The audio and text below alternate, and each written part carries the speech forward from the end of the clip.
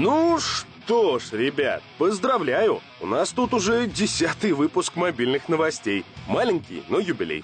Ладно, давайте, поехали к новостям. Студия Risky Lab анонсировала стратегию Warbits для платформы iOS. Затея простая – набор карт ландшафтов, где будут происходить столкновения с врагами. Вы управляете одной из нескольких группировок военных, воюющих друг с другом. Обещается сетевая игра как через интернет, так и несколько игроков на одном устройстве. О сроках выхода пока не сообщается, а разрабы говорят, что, дескать, в ближайшее вот время.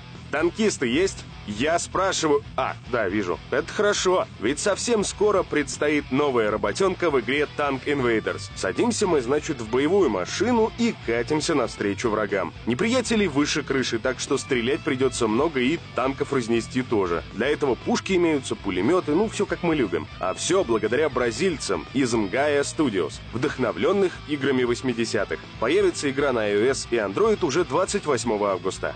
Обезьянки прыгают за бананами. Это я сейчас об игре. Чимпакт 2 Family 3 от студии 505 Games. Перед нами продолжение известной игры Чимпакт. Впрочем, тут та же песня. Прыгаем за бананчиками, а еще собираем всяческие кристаллы, ну и зарабатываем баллы. Короче, если делать ну прям вот совсем нечего, то за этой игрой можно весело провести время. Чимпакт 2 Family 3 доступна только на платформе iOS, и найти ее в App Store можно уже сейчас. Правда, придется потратить 66 рублей. Студия The Project Factory сообщила о скором выходе на Android приключенческой игры Sherlock The Network. Игра сделана по мотивам сериала «Шерлок» от BBC, создатели которого перенесли Шерлока Холмса с доктором Ватсоном в комплекте в наше время. Sherlock The Network уже вышла на платформе iOS. Ее можно скачать бесплатно, расследовать несколько преступлений, а вот потом уже придется приобрести. Разработчики также выпустили ролик, посвященный Android-версии игры, и обещают ее уже в августе. И...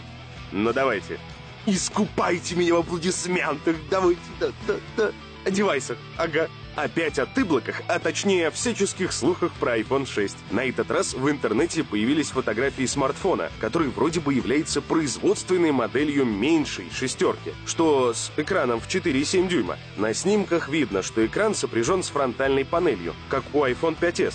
Домашняя кнопка увеличена, значит яблочники улучшили сенсор отпечатков пальцев. Еще на задней части дисплея отсутствует электромагнитное экранирование. Предполагается, что это может быть новый дизайн из-за интеграции чипа NFC. Сама же Apple, как и полагается, отмолчалась и не прокомментировала данные слухи. Ну а мы все ждем сентября, а там уже все и узнаем из самых первых рук. Ну и на этом действительно все. Не болейте и до завтра.